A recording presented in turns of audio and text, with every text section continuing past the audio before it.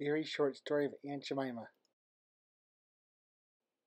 Aunt Jemima was introduced November 1st, 1889.